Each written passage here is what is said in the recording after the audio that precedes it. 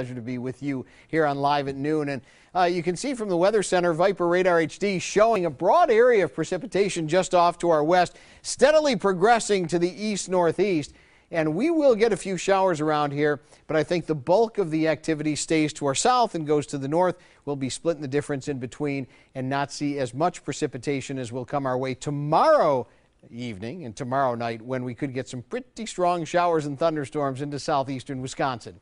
Let's go ahead and take a live look outside right now because we are getting some bonus sunshine out there through some thin clouds. Here's a live look from our Port Washington tower cam. Flags along Main Street there kicking up a little bit as the breeze is getting a little stronger. We'll check that out in just a moment. But you can see those clouds starting to get a little thicker, obscuring some of the sunshine that was more dominant during the morning hours. So, into your weather headlines, we will call it a grayer day than yesterday, certainly, and rain will be rolling in initially, a few showers late this afternoon and this evening, and then heavier rain this weekend, especially Saturday night into Sunday. But mercury is rising in a big way. Will be warmer today and even warmer Saturday and Sunday with temperatures that'll feel more summer-like in the 70s. Outside right now, not too bad. 56 degrees officially at Milwaukee's Mitchell International with a southeast breeze at 10 and that big cube of conditions comes up. We're now at 61 degrees in Watertown. Double nickels for you fine folks joining us in Waukesha, flirting with 60 in Burlington, 56 in Lake Geneva, and 59 in Whitewater.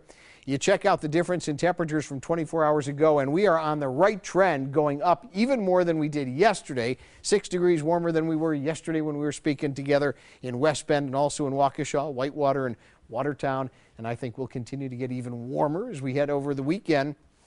Look at the winds increasing as well, but the difference here is these winds out of the warmer direction out of the south, so helping to boost our temperatures, also gradually helping to boost the moisture as well.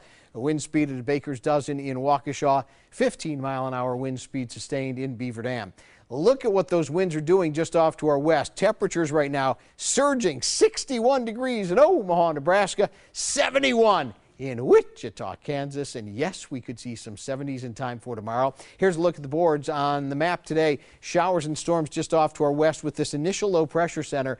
Again, I don't think we get anything significant from that one.